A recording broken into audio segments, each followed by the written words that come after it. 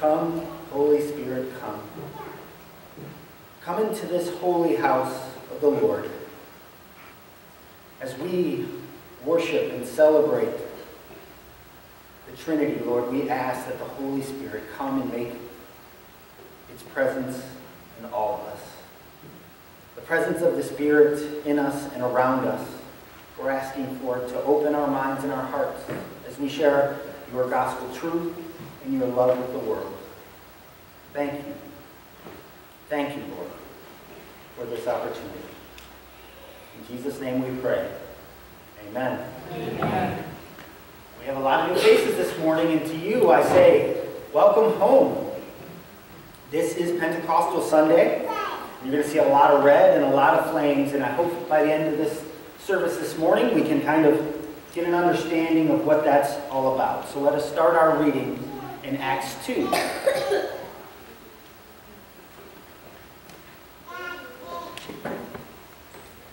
Brothers and sisters, today we come to remember Pentecost. It is the day the Holy Spirit descended upon the disciples in transformative ways. So let us open our hearts to receive the message of Pentecost and consider how the Spirit speaks to us today. When the Spirit of Pentecost had come, the disciples were all together in one place. And suddenly from heaven there was a sound that came rushing like a violent wind, and it filled the entire house, divided all the tongues as of fire, and entered the house to where they were sitting. All of them were filled with the Holy Spirit and began to speak in other as the Spirit gave them. Now there were some devout Jews in the nation under heaven in Jerusalem. And at this sound the crowd that gathered were bewildered because of the, each other heard them speaking in the native tongue of each. Amazed and astonished they asked, Are not all these who are speaking Galileans? How is it that we hear each of us in our own native tongue? Peter stands among them and spoken and speaks the word of the prophet Joel. And least these last days, says the Lord, I will pour out my spirit upon you. And your sons and your daughters will prophesy in my name. And your young men shall see visions, and your old men shall dream dreams. Even my slaves, both men and women, in those days I will pour out my spirit, and they shall prophesy. Peter says to them, Repent and be baptized for every one of you in the name of Jesus Christ, so that your sins may be forgiven, and you will receive the gift of the Holy Spirit. For the promise is for you, for your children, and for all those who are far away, everyone whom the Lord calls whom the Lord God calls. So let us open ourselves to the transforming power of the Holy Spirit this morning. May we be bold in sharing the message of Jesus Christ to all who will listen, knowing the promise of Pentecost is for each and every one of us. In Jesus' name, amen.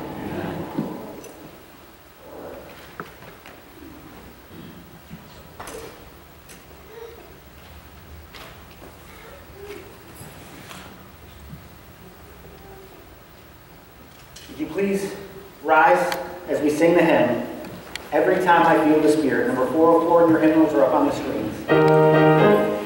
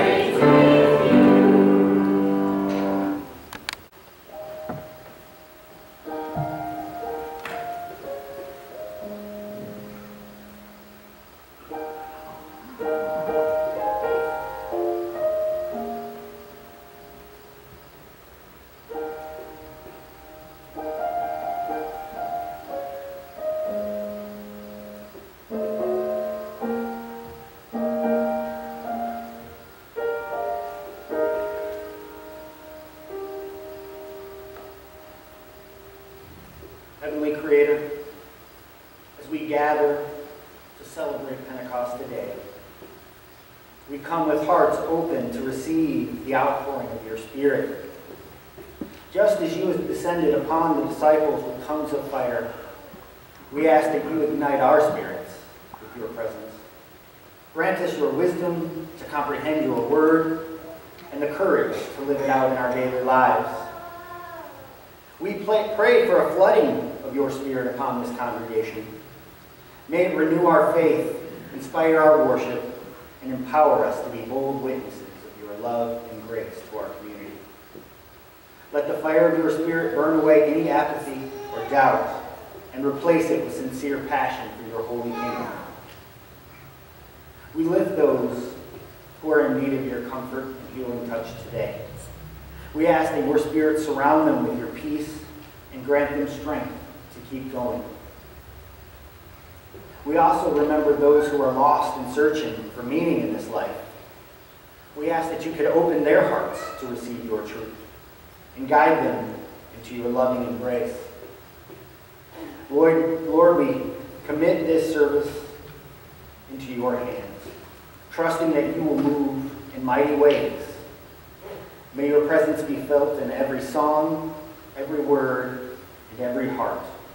In the name of Jesus Christ, our Lord and Savior, who taught us to pray by saying, Our Father, who art in heaven, hallowed be thy name. Thy kingdom come, thy will be done, on earth as it is in heaven. Give us this day our daily bread, and lead us not into temptation, but deliver us from evil. For thine is the kingdom, and the power, and the glory forever. Amen. Now I'd like to welcome up Jared Stockwell for our first reading this morning.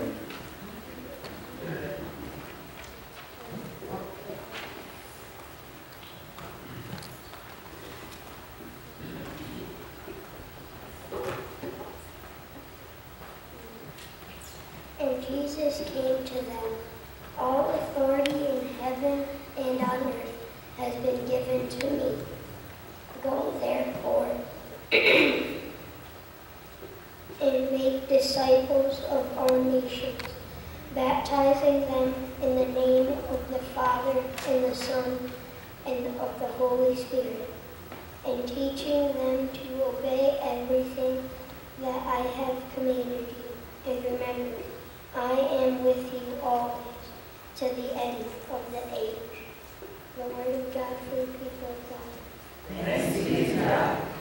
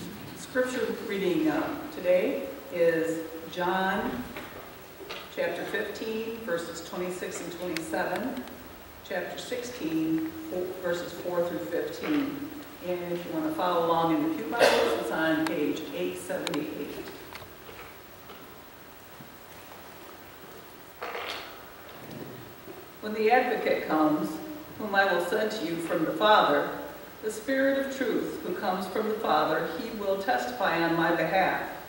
You also are to testify because you have been with me from the beginning. Now 16.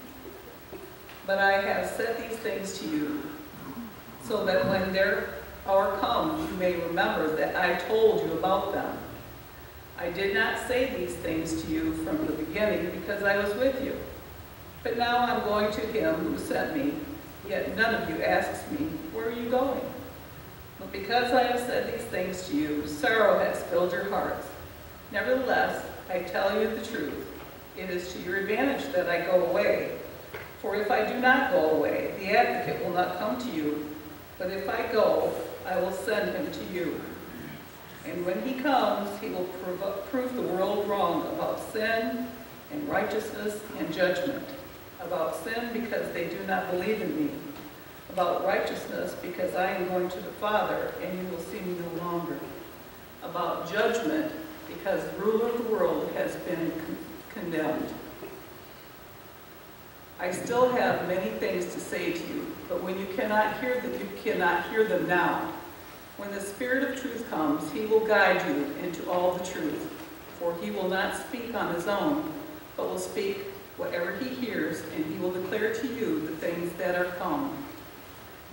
He will glorify me because he will take what is mine and declare it to you. All that the Father has is mine. For this reason I said that he will take what is mine and declare it to you. The word of God for the people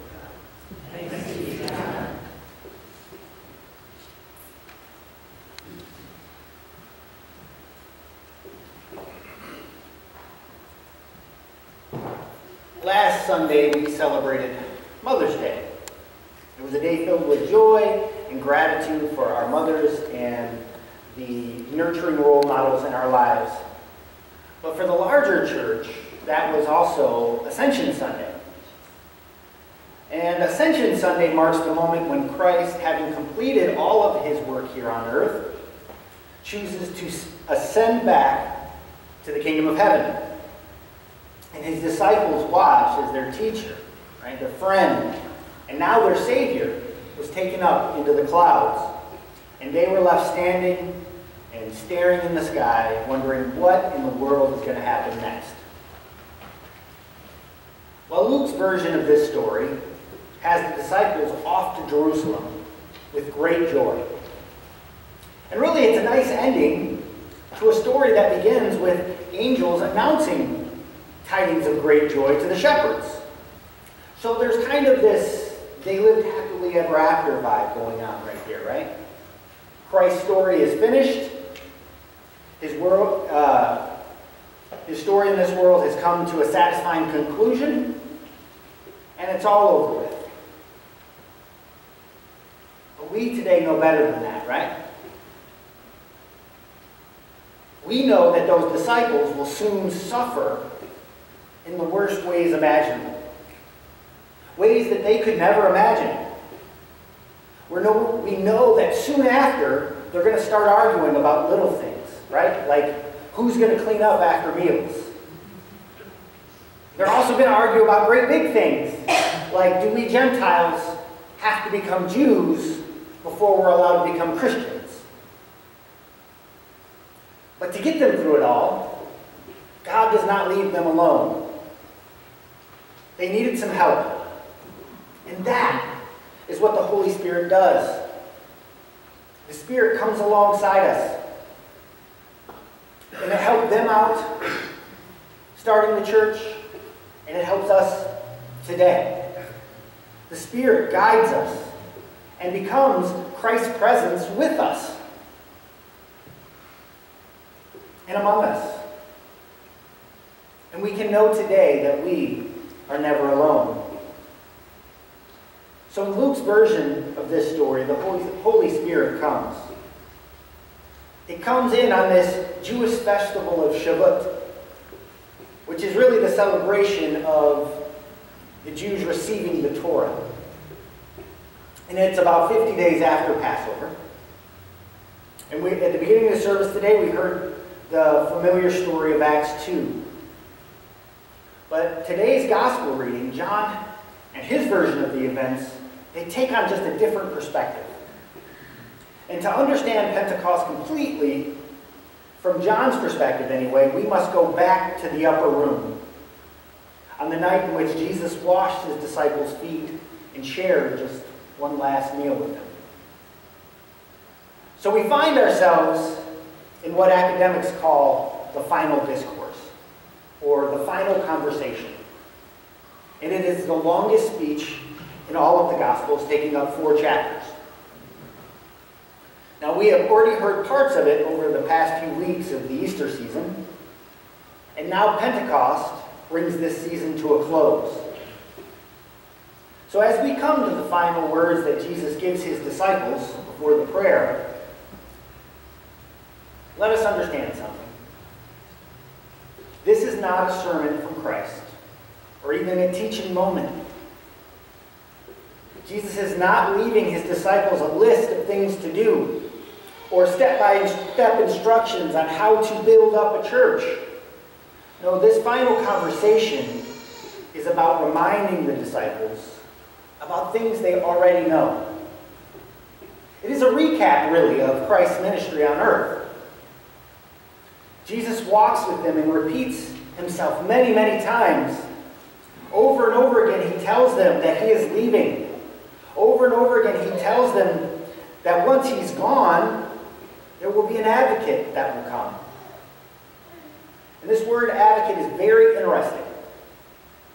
Because only John uses this word here in the gospel and once in 1 John chapter 2 verse 1. But this isn't the usual word for spirit. Most of the time in the New Testament, the word spirit is pneuma, which means to breathe or wind. But John uses the Greek word paraclete,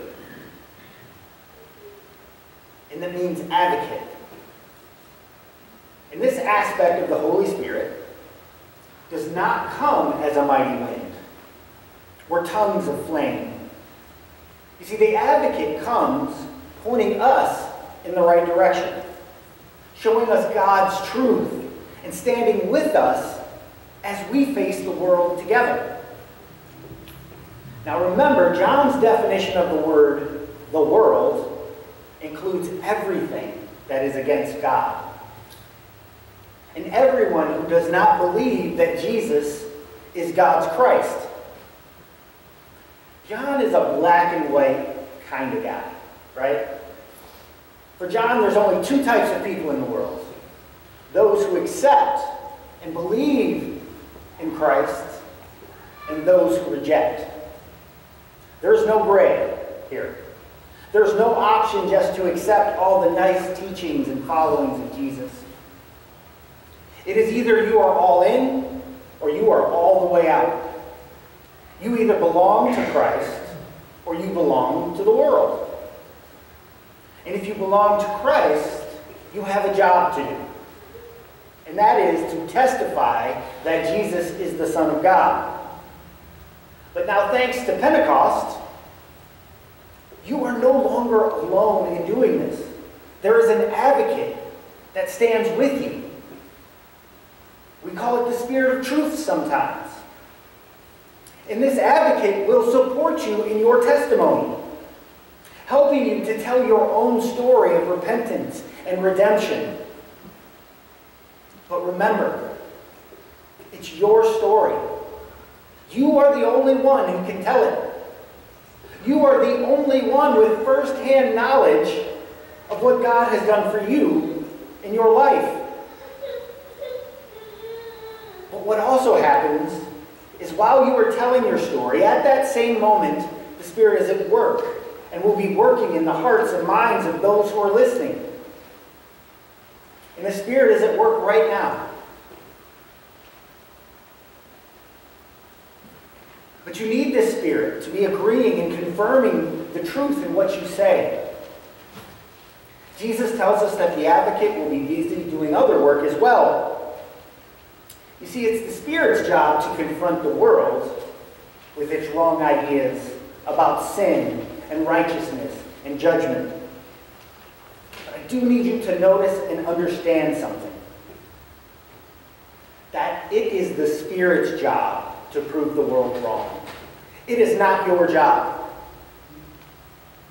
And this is a major problem for the church today, right? As tempting as it is to explain to others just how wrong they are about their sins, they will never understand you because they don't know God yet.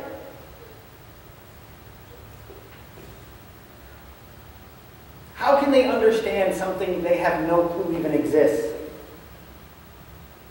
People won't know what it means to be right in the eyes of God. And they don't have a clue about judgment. But here's the good thing that's not our job either. Our job is to tell our story. Tell our own story, the story of how God loves humanity, how God has forgiven us, and how God always wanted everyone to be a part of the kingdom of heaven.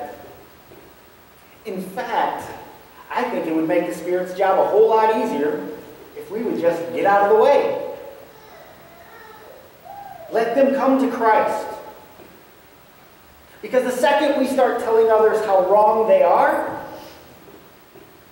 we're not doing the Spirit any favors. Because we force people to instantly put up walls. Right? Only making the job harder for those who don't know Christ. To accept the fact that grace is what was intended all along. You see, what happens is we come across as judgmental or arrogant. And then the entire world sees us as hypocrites because we are criticizing others for the same sins that we commit ourselves.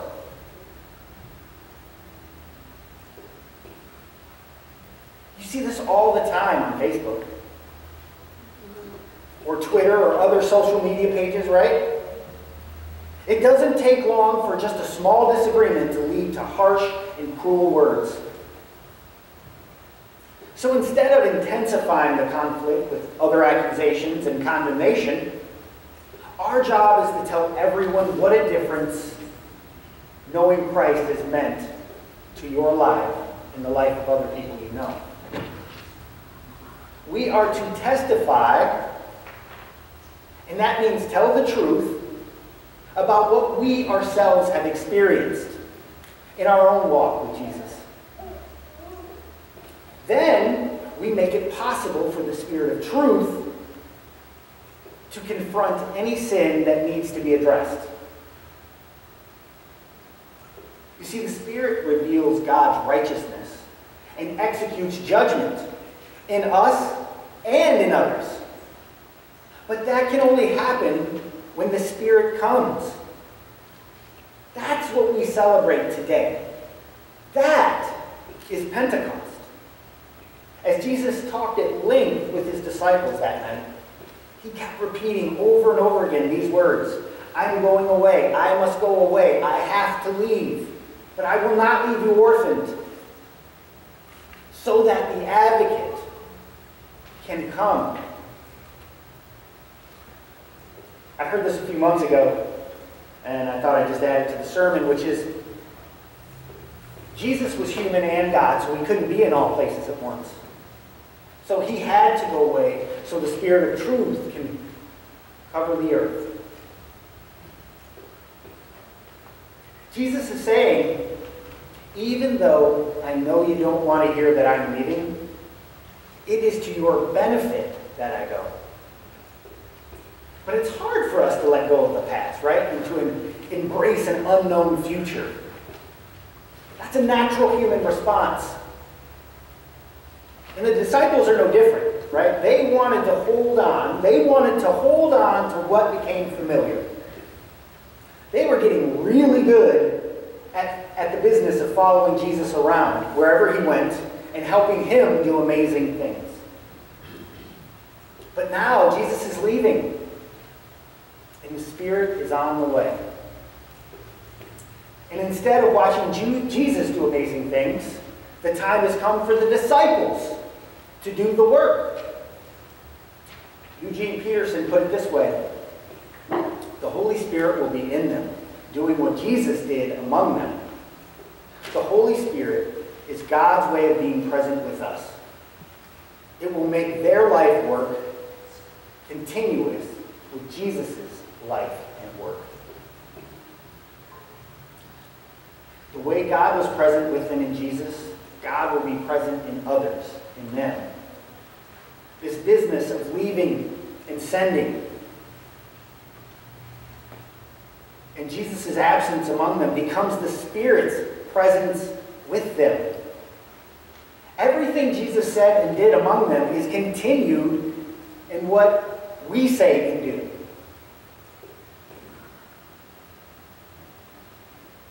But to embrace the unknown that lies ahead of them, the disciples must be willing to let Jesus go, at least for now. But it isn't just the first disciples who need to be willing to change. You see, the story of Pentecost is not about what happened in the first century. When the Spirit comes, the Spirit keeps moving. Holding on to the familiar, the comfortable, just isn't possible when the Spirit comes. David Lose writes, the Spirit comes to testify that we might testify, often to a very hostile world, the Spirit's presence is at least as disruptive as it is comforting. And why? Because the resurrection isn't more of the same. It is life exploding out of death. So is this really what we want? Because I, I mean, I've never heard anyone pray, Come, Holy Spirit, that we might remain exactly as we are right now. For whatever we mouth today in Pentecost, most of the time we resist meaningful change in favor of the way things have always been done. You see, but the problem with that is there is no the way things have always been done. Only the way we've done them in recent memory. Which, of course, really means the way I've gotten used to, them, to things being done. Lose goes on to explain that this focus on tradition, though, is, is more than just comfort and personal taste. He says a lot of the things we do in church or in our church practices, if you will, we do, quite frankly, because they have worked. And so we trust them. Right? But we need to understand that the population for whom these customs are working is only getting smaller.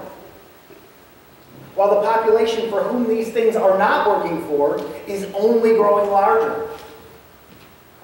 Which means it's time. It is time to start innovating. It's time to start exploring new paths and even experimenting in all the ways to figure out what works today for those who are coming now for those who haven't came in a while, and for those who will be coming soon. We need a dose of the Holy Spirit.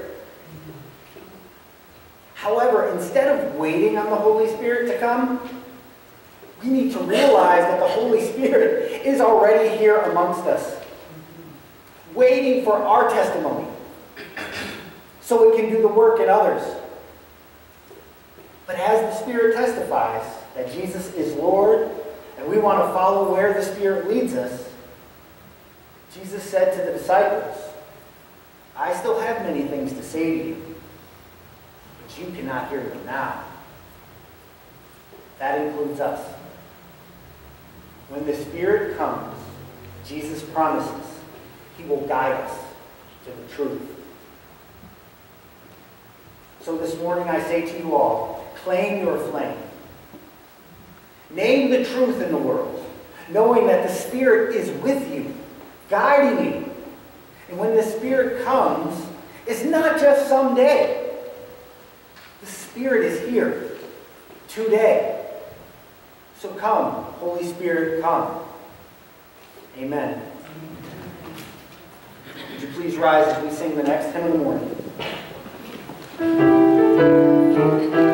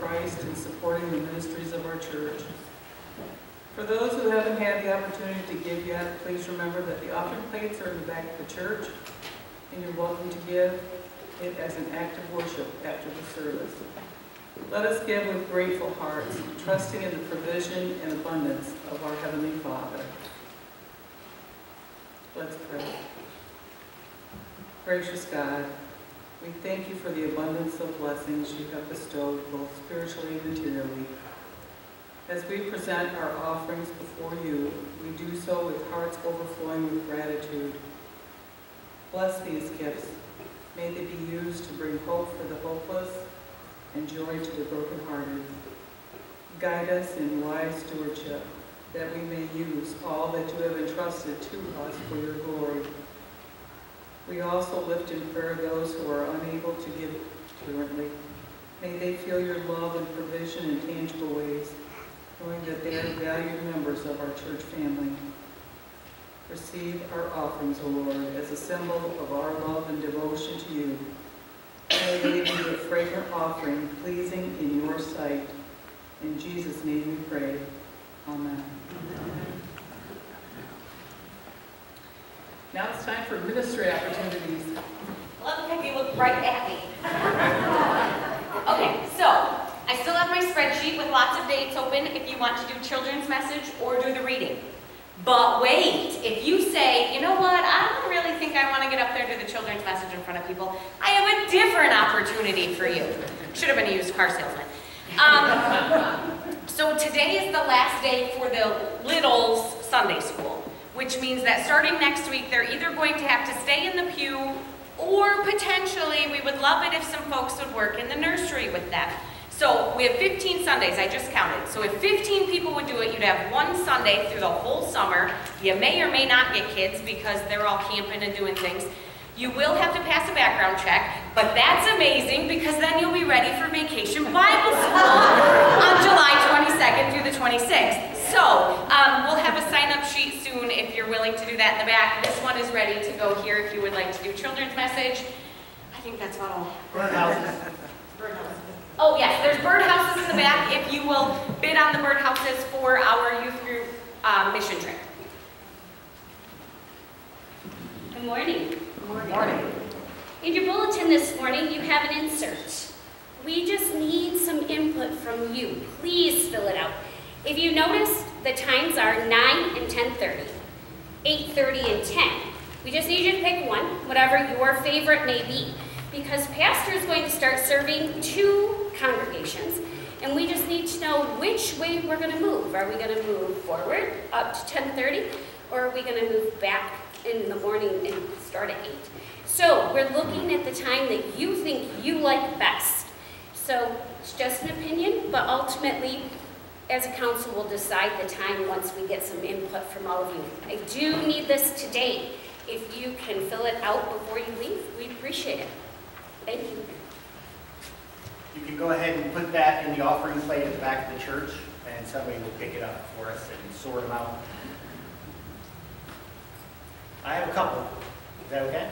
Okay. June 9th, uh, we are going, it's going to be baptism Sunday. We have six kids as of right now who are going to be baptized. So if you haven't been baptized and you're one of those shy people who don't want all the attention up here on yourself, that would be a good Sunday to be baptized with many other people. So that way you're not the center of attention. I know some people really like that. Hold on, Pastor, I have a question. Yes, Might as well make this an infomercial. yes, What if I don't want to be dunked in the lake with the kids? Can I do it at the church? yes. So the kids will be here performing the, the baptism ceremonial part, but then we will be going down to Robinson Lake afterwards, I believe your mom's house. And we're gonna go out to Robinson Lake and the kids, some of the kids wanted full immersion, so they will be doing full immersion into the lake. So if anybody would like to be baptized, you know anybody who's not even affiliated with the church, I love baptizing anybody. I just need them to fill out a little bit of form, especially if they're not 18 years old, so we can get parental uh, consent, but also so we can get some background information because later in life, people have to find where they were baptized and get that information sent to other churches and other, other things like that. So it's got to be official. So if you, if you know someone who would like to be baptized or you would like to be baptized yourself, June 9th, keep the dates and, and let me know. Come talk to me. We can have any kind of conversation you would like. Uh, and that's June 9th. One more is Christian graduation for White Cloud Schools is this coming Wednesday. Uh, I would love it if all of you showed up to support the kids. We usually get about 20 kids and about 100 um, spectators to watch the kids do their Christian graduation. It is just another form of graduation that the kids go through. It's just, they want to do it as Christians, and we want to make that day special for them. So if you could come and support these kids and let them know that they always have a home to come back to and a place, a foundation for them to start from. So that's what Christian, it's, it's previously called baccalaureate, but nobody understands what that word means anymore. So I'm now calling it a Christian graduation for them. Bill? Do you have to be baptized to be saved? No, you do not. You are allowed to be saved before you're ever baptized. Your baptism is kind of like your anointment into your Christian life. It is to kick off your Christian life for the rest of your life, which is why mostly kids get it done, or younger adults get it done. Uh, but it, you do not have to be baptized to be saved. You just have to accept Jesus as your Lord and Savior in your heart, and you begin that journey there. And that usually leads to a baptism later on down the road. Thank you, Bill. That's a good point. Also, we have a correction. Miss Lori stood up. Thank you. Uh, missions meeting is going to be May 24th, not as it says in the, Yeah, I, I went the wrong way with the date, sorry, twenty-second. oh, the 22nd. It'll be May 22nd at 11 a.m. So if you would like to join the mission team, which is the team that picks all our giving, you can see all the money that comes in and see how it all goes out to different uh, missions. And if you would like to be a part of that, that is open to anyone at any moment. And please, we encourage you to come because we would like more input. So uh, that would be June or May 22nd at 11 a.m. Is that a Wednesday or a Thursday? Wednesday. Okay, Wednesday. Just one more, for the Breakfast Club, formerly known as Men's Group, but we gather out here in the parking lot at 8 o'clock. Recent months, we've been consistently going down in Newaygo for their basement breakfast, and United Methodist church here. This is Memorial Weekend. We'll travel out to Big Prairie Fire Barn to support their fireman's breakfast. And that is off of Elm, right? Take baseline to Elm, Yep, baseline to Allen South, and yes, you'll be there within a few miles. and we'll be in Mary's neighborhood. Rocky? Does baptism have to be performed by clergy? Yes. Yes. Even though we're all considered royal priests in the eyes of God, for this church's sake, it has to be done by clergy.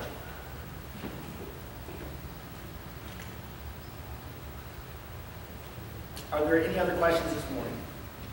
If not, I give it back to you. Let's do the closing hymn.